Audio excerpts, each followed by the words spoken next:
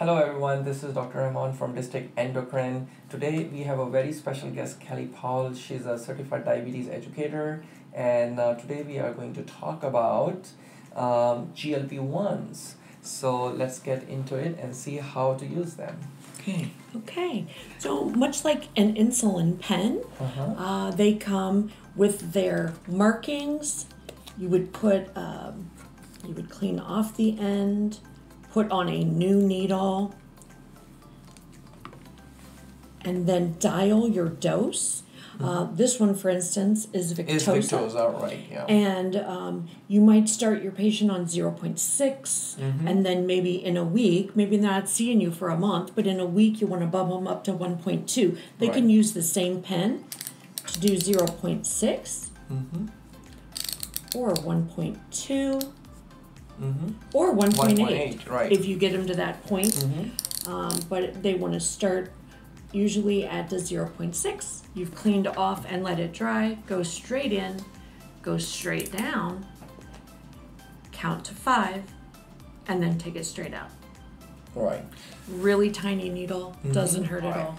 So just like Kelly showed about Victoza, we have Ozempic pen, which is a sec, uh, which is a different uh, drug, basically same GLP class of medications.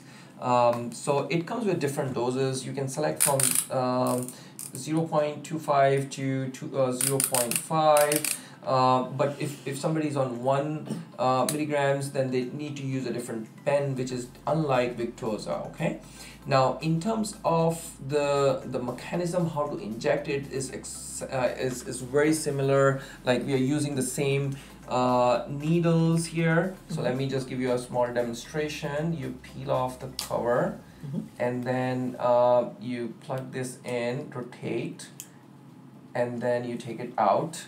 Now there is this protective cover. You take it out, and the needle is so small. I would say maybe four millimeters Mhm. and it's barely you know visible on the camera i guess and then uh, you want to clean this area up with a new uh, alcohol swab uh, and that's technically your skin you leave it there let the alcohol uh, dry and after that uh, you're gonna just go directly 90 degree angle and then once you're in you press the button you hear this noise while this is the drug is going in uh, while you're there you want to count till five one two three four five and you take it out okay uh, i took longer but in actual practice it's much faster once you are done you want to um, put the cover back in and rotate and then take it out um, and then dispose the syringe Other all right. So I, I was going the other way around. All right. So yeah.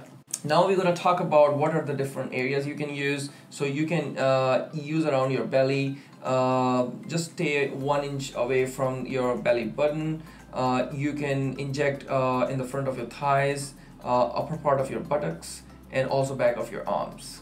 So, well, do you have anything else? Uh, how to inject? I think that's it. That's it. All right. Um, take care to uh, rotate well, and Right. if you're right-handed, you can use a pen in your Mhm. left hand. It's very, very easy. mm-hmm. So just rotate real well.